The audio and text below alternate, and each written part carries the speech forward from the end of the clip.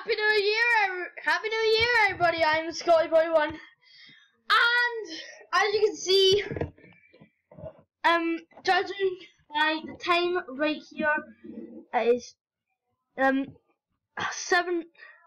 Uh, it's seven past twelve in the morning, and it's January first, two thousand and sixteen. That's right, 2016 is here.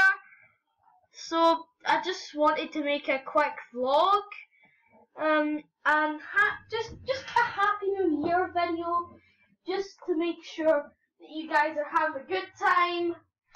Um, so yeah, um, oh, yeah, focus fireworks and one just went off, so yeah, for the new year. Anyway, I just wanted to make a vlog about the events on what's going to be happening for me this year. So I'm gonna so guess what? There there there are five main priorities I want to go over. Number one, FNAF World is coming out this year, and 2016, FNAF World is going to be released. It's 2016 right now, yeah. If you're watching this in the future, it might be 2018 or 2022 or 2000 2,999 close to being 3,000. I don't even know.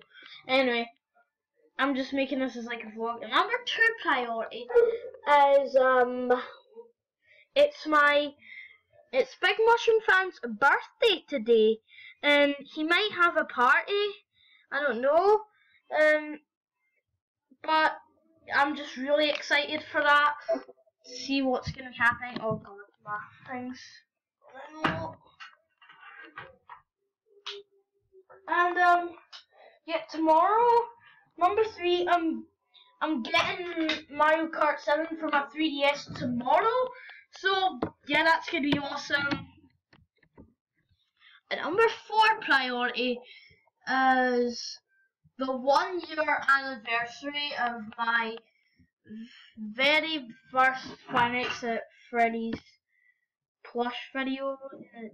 That's already kind of, you know, but I'm just talking about, um, you know, like the first actual video I made of the plushies playing the real Nights at Freddy's game.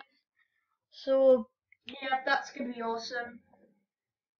The number? What number was it again? But yeah, number five.